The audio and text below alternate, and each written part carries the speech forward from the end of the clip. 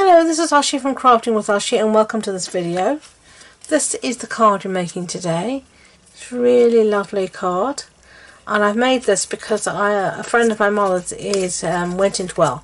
I'm filming this actually before Christmas, so this is the week before Christmas, and a friend of my mother's has gone into hospital for a knee operation, so I've made this card for her. So I'm sharing this one with you in January, but I'll have already made this card and sent it to her by then. So there you go. So let's get started. I have a scrap piece of Whisper White in my Stamparatus, and the stamp set we're going to use is this one called Art Gallery, and this is a new set from the mini catalogue that goes live 4th, 5th of January and that's one of these two-step stamping where we can layer the stamps up so let me show you what I've done so first layer we're going to stamp in Flirty Flamingo and we're going to stamp this three times and I'm going to show you how to do this the easy way just make sure you try if possible ink up all of your stamp. Not always easy for me to see with all these lights on but there we go. And then all I'm going to do is move this up a couple of rungs like that and we're going to re-ink and stamp again. And then we're going to move it up a couple of rungs again. Whoops knocking over my camera. So I've got it plugged in here to charge so I'm bumping into the wires but it's fine. So there we go and we're just going to go down there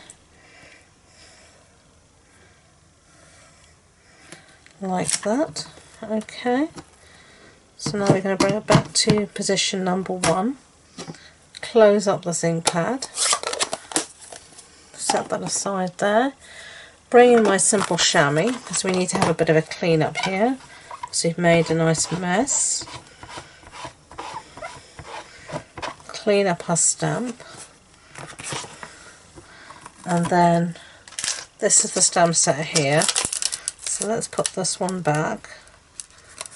And then this is the next bit to layer. And this is the really clever bit if you look at it you'll see this is the bottom of the image and you just need to layer you just need to line up this little piece here at the bottom and that will line up every time you line that up you'll get all the rest as in position as you can it's meant to be uh,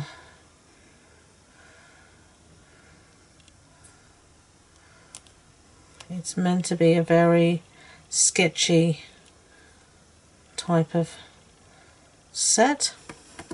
So that will do me. Pick it up with my, um, what you call this, the Stamparatus lid. And this time we're going to be stamping in one of my favourite, favourite colours, Melon Mambo. It's just the most gorgeous pink that was ever created as far as I'm concerned. We're going to stamp. There we go. And you can see it's just meant to give this hint, but it's a very sketchy type stamp. And then we're going to do the same again, up two rungs. And because everything's in the same place, we don't have to re... We don't have to look again at what trying to um, line the stamp up again. It's already done for us. This is one of the tricks of the Stamparatus which makes it so clever. There we go. So all three pieces beautifully lined up. Now let's do some clean up again. Okay. Set that aside. And I have a piece here of Whisper White. And I'm just going to put that there. And then what am I going to do? I'm going to get a stamp set out, sentiment out while I've got my ink pad out. And this one says I'm thinking of you going to put it somewhere like that. Pick it up with the lid.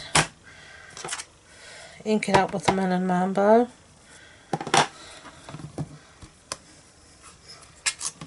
Lovely. Close this up quickly. Now this set has some matching dies, which are these here. And all I'm going to do now is cut my flower out and cut this out clear everything else up, up, up and I'll be back. Okay, so everything's cut out, so it's time to assemble. So we have a card base here, and this is Thick Whisper White. That's a standard A6 card base. That's an A4 sheet cut in half and then folded in half.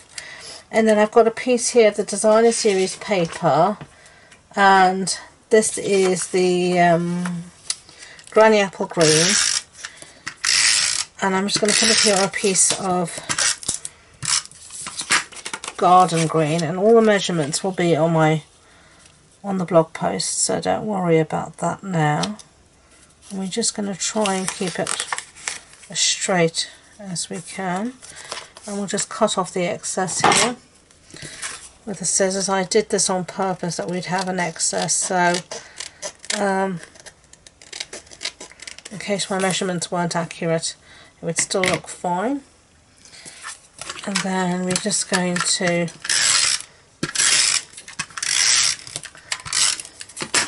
put this on our piece of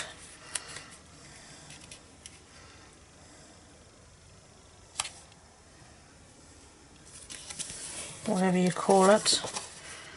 Um, and cut off the excess again as I said I did this because I wasn't sure sometimes, you know, even though you try the hardest, you don't always get things exactly cut the right size. And this way I could make sure that it would fit the, the total length of my card, like that. Okay, so get rid of those bits, bring back our flowers. I think I can have my first flower, yeah, there. I'm going to put this one on with some Tombow. Just like that. And let's see. And I think to have one here. And this one I'm going to also put with Tombow. Let's see think something maybe like that. And then I think I'm going to try and pop up the last one on some dimensional. So sorry about the noise. I've got so much rubbish on my desk. It's unreal.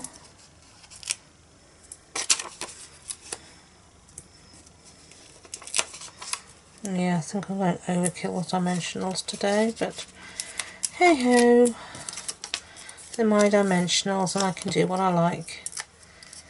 It's not hurting anyone, so let's just get on with it. Take all these awful backings off that get everywhere. However hard I try, I always find I can see a few on the floor. However hard I try to put them in the bin, it never works. I'm going to put that one on top like that and then again we're going to cut off the excess but I'm going to use my larger scissors because those small ones were just annoying me. Okay cut off all the bits that are hanging over like that. Get rid of all this mess. And I've just dumped it on the floor by mistake. Oh well now we're going to put this in wherever we want it. I think I'm going to snip off a bit more here so I can tuck it where I want it to go. Where do I want it to go? Maybe actually this time like that. So let's cut somewhere around there. as you can see I'm being so precise. Yeah, that'll do. Enough faffing about. We're going to stick it in. I just don't want the the edge to be seen. And of course, I put too much Tombow. before I could really tuck it in properly.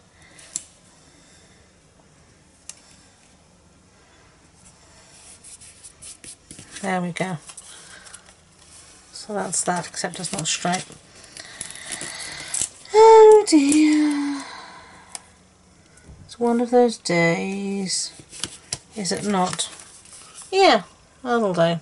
It's still not straight there. I oh, will sort it out after we've the video's off.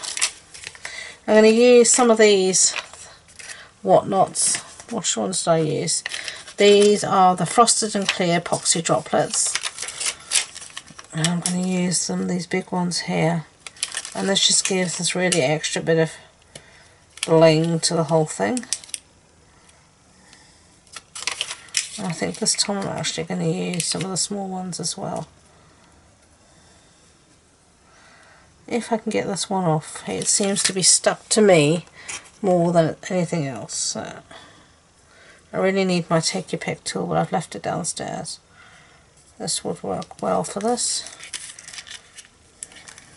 I don't. Sometimes I can't see because they're lying on top of each other. I can't really see sometimes what I'm doing.